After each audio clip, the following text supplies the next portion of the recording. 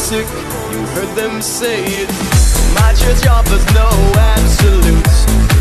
She tells me worship in the bedroom.